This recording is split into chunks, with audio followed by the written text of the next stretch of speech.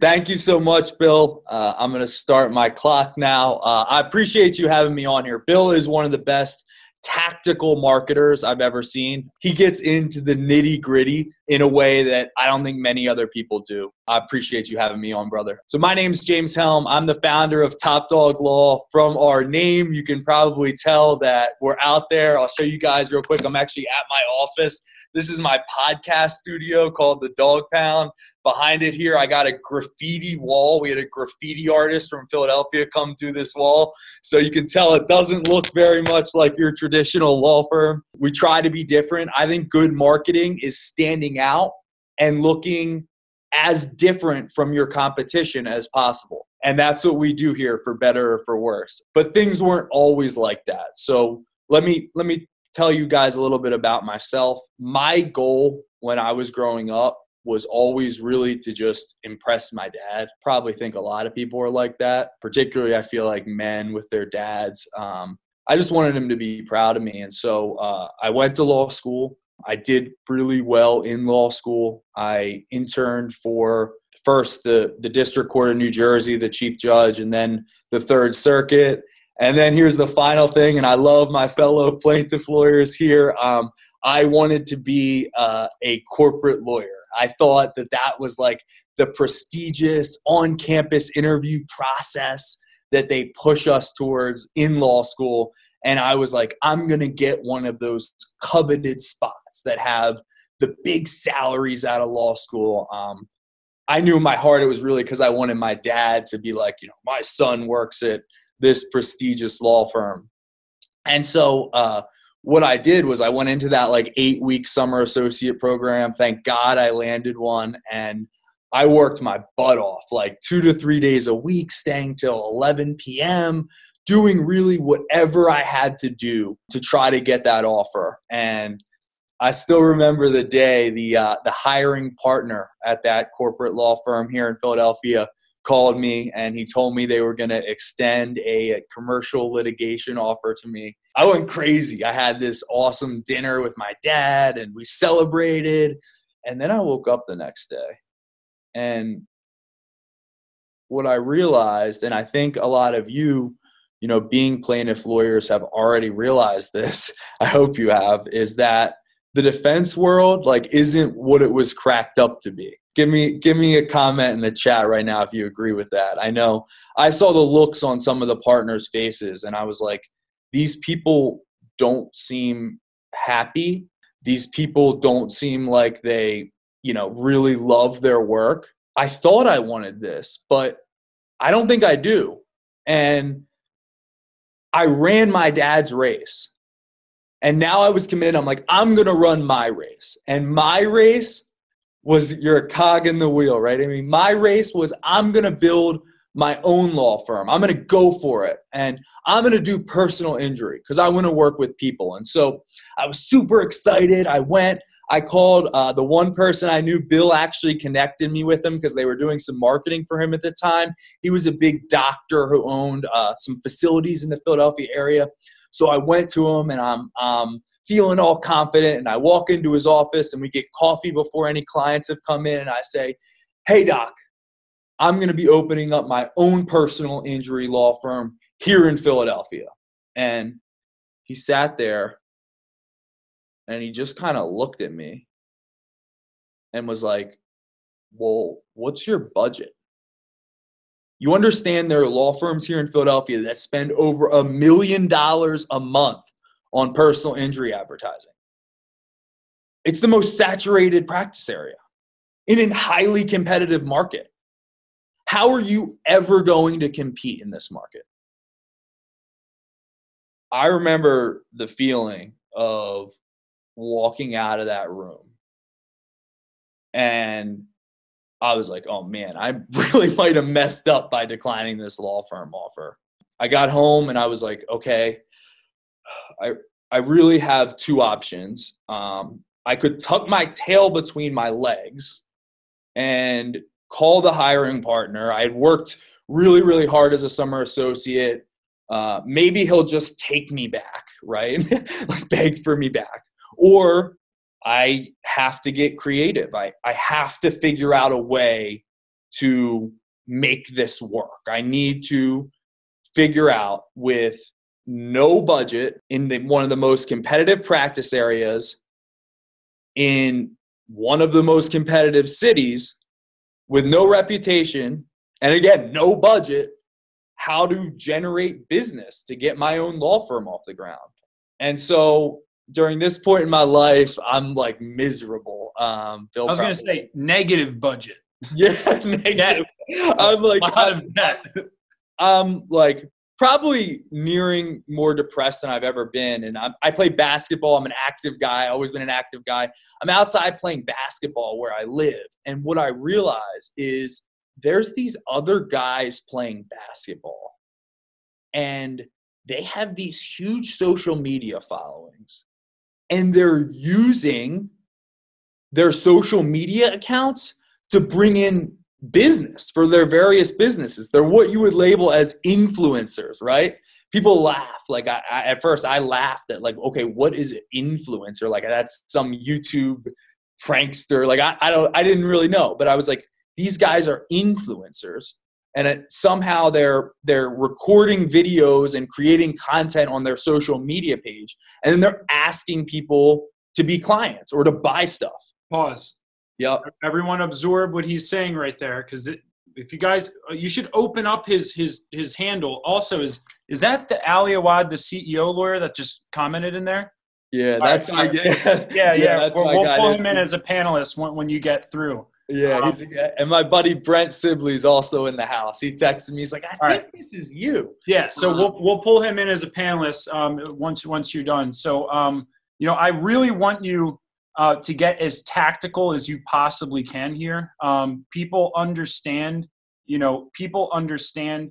Uh, I think your story, which is pretty cool. When we get a chance, guys, I'm going to show you how James and I notice how James just stated his story before he went into tactics. How I always state my story before he went into tactics. For all of you, you see CEO lawyer do this in, in, in a lot of his videos as well, right? whenever you do a speech of any form, for those of you who want to pull off webinars like we did this morning with hundreds of lawyers on it, always start with your story first, like James just did. I just had to pull that out. Um, all right, so keep going, James. What what are the how the hell did you pull this off? And and tell tell everyone what is the end result that you're about to explain that you pulled off.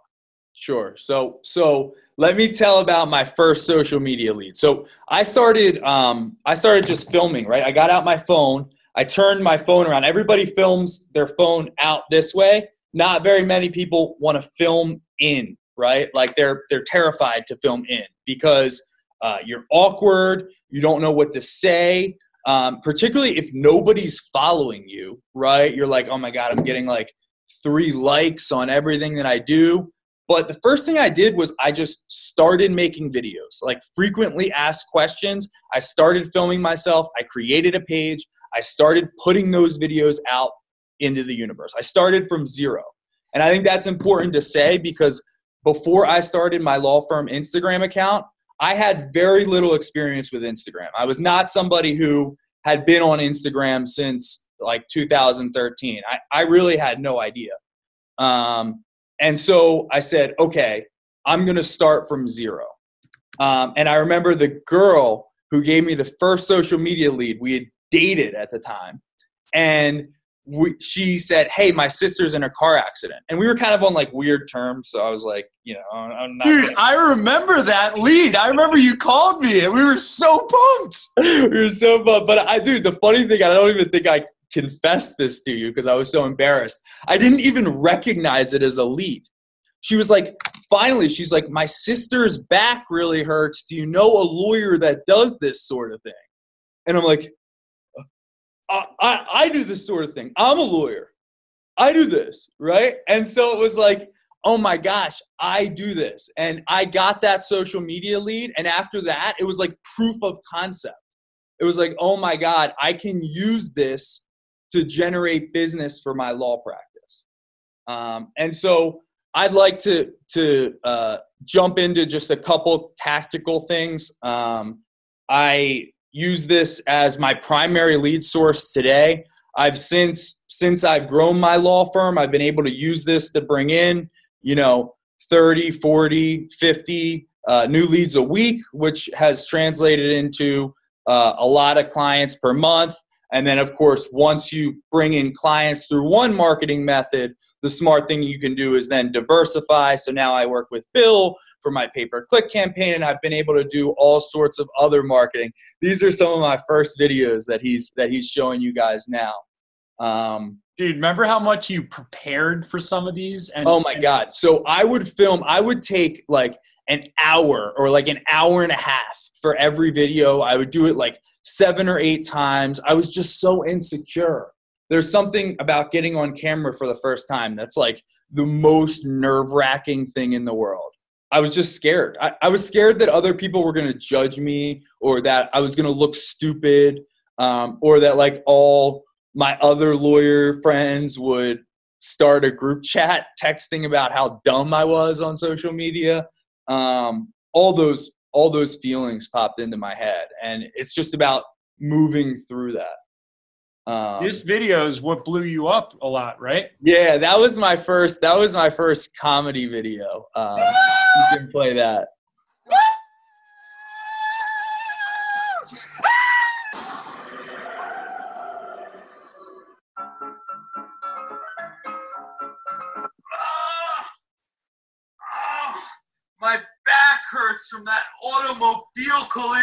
Yesterday. I gotta call that lawyer I saw on Instagram. What was his name? Top Dog? Car accident? Let's get you paid.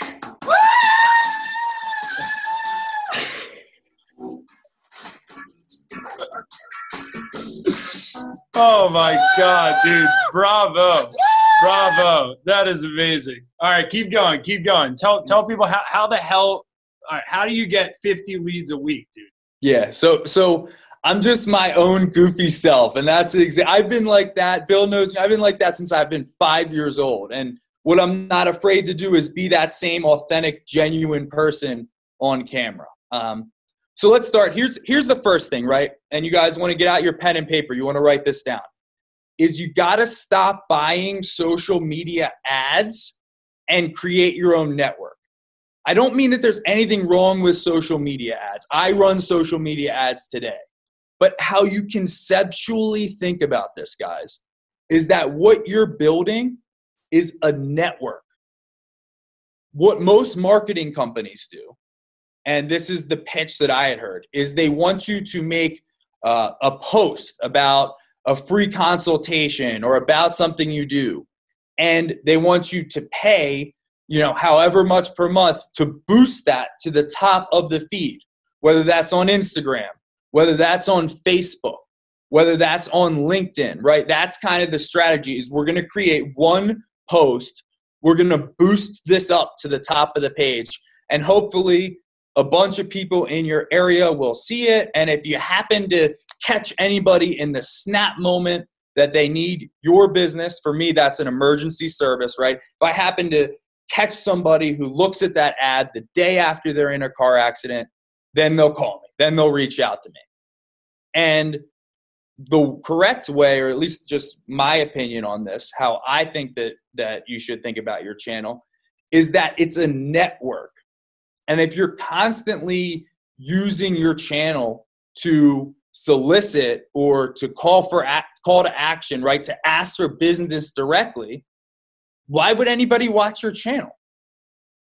It's nothing but commercials. Would you watch a TV channel that's nothing but commercials where people are just asking for their business, right? You wouldn't. You would want to want something that makes you feel something, right? Like something that you follow because you thoroughly enjoy it. And this is the second point I want to talk about in creating your own network. And that's you need to be the face of your network. I think a lot of lawyers have this idea with their marketing, and Bill, you can chime in here that they're going to give their marketing responsibilities, particularly their social media responsibilities, to a young boy or girl fresh out of college with a marketing degree, and they're going to say, You handle the social media. The problem people connect with people. as the owner of the law practice, you need to be the face. People don't identify with nameless, faceless brands. And if you're having somebody run your social media account that's not you, I don't know, would you want them to be the face of your social media? Um, I think that's what led, led to my success and led to the success of the people who are doing well, and I mean really well on social media, is that they're the face of their business. We just had Alexander Shunnarah, the most famous person in the state of Alabama, uh, on our webinar today. And you guys tell me this, okay? Alexander Shunnarah has a, the biggest litigation division, uh, litigation piece of his practice, right? And he doesn't just market to those cases. Okay, mm. this is the light bulb.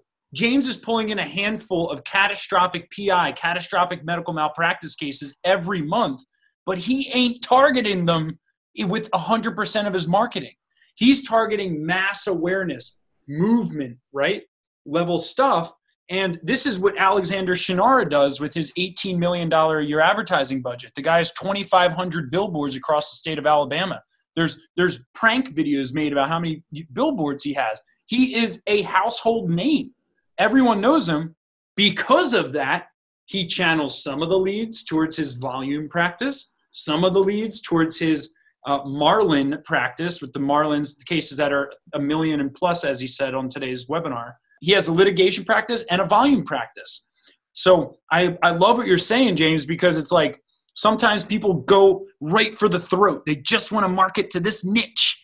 But in that, they lose mass awareness, which I know CEO Lawyer can talk a lot about. Go ahead. Your next It's social media is a social platform. And so um, if you're not being social, if you're not engaging on other people's stuff, if you're not responding to your followers, if you're not answering direct messages that are separate from the crux of your business that are just you know people trying to get helpful information then you're missing the mark when it comes to social media um, and and the second the second kind of point i want to make here is how to make your channel everybody's favorite because um, you can tell i do like the comedy right that's my thing i took improv classes like i like to be a goofball um, i think comedy tends to work really well on social media but if that's not you, don't force it. That doesn't have to be you.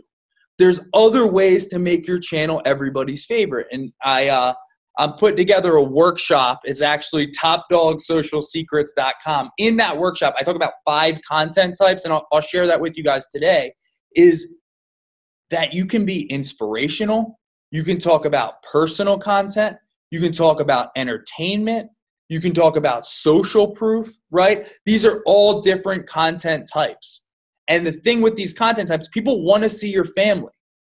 People want to see you like excited, inspired for the day, right?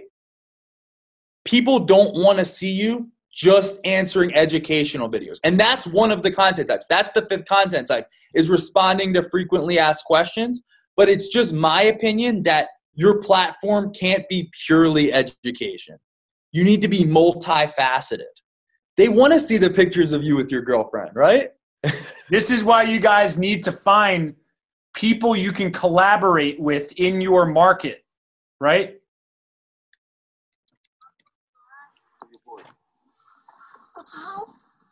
What's going on, man? Top dog. Top dog, you sure ain't top dog? You get in my car? What's that, Sean? That's just that lawyer I told you about. Lawyer? Do it look like I care? Say, I'm just joking, man. Don't look like I care because I don't. You get in my car looking like Clark Kent. Come in dressed like an old Navy man with the two buttons at the top. What the hell you just get in a stranger car?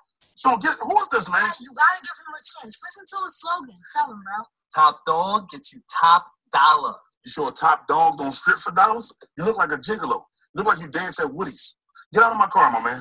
Right now. Get out. I thought you said that was cool. It's black belt in karate. And- I never did no karate, boss. He's talking about the black ball I used to whoop his ass. The same one I'm gonna use to whoop your ass if you don't get out of my car. Now. So where you going? I'm going with him. So the only one gonna need a lawyer is me for when I whoop you behind me you get home. Sit back. Let me see that number, man. In fact, give me your number. Thank you. Man, get the hell out. oh man, guys, it, there, there, you are only limited by the the level of creativity that you can pull off, man. Go ahead, James. Yeah, um, and and I want to answer a question in the chat here from Christine because it looks like a uh, a really awesome question. She says, "How do you do all of that and still practice law? I'm the only attorney at my firm and knee deep in just practicing. How do you timely respond and engage on social media? And and that I think right there is the is the biggest objection that uh, most people have to doing this sort of strategy and it's understandable i mean i get it right um, i'd say two things i'd say first the very first hire i made at my law firm and i think this is a little bit controversial is i hired a marketing director i hired somebody that could help me make money as opposed to hiring an operations person like a paralegal to help me do the legal cases right and the reason I did that was because he could do all the technical stuff that you see with the titles and the captions and Photoshop. A lot of the stuff that you know Bill's team does for him in terms of how he creates these webinars that he just talked about. That was the first hire, and that was super helpful for me. Was like getting somebody on my team who had this sort of skill set. Um, the second thing is that I think the highest leverage task you can do at your business is generate new business for the firm. Um, I happen to be in a position where I can work with strategic partners, right? If I have a medical malpractice case, or even if I have a car accident case that's a unique circumstance, I can work with another law firm in my area and co counsel that, and we can split attorney's fees. And I'd rather do that and have somebody help me with the operations part of a case until I get up to speed because I'm still a new lawyer and maintain my time on my marketing because my marketing is my engine that drives my practice. I want to spend just as much time on my marketing per week as I do on my legal cases. And and that's a little controversial. I know a lot you guys can let me know what you think in the chat about this specific topic. I know uh, a lot of people don't think that way. But Bill, you can talk about your experience. I would say some of these panelists that you've been having on the webinar, some of the most successful lawyers, they're working on their business, not in their business.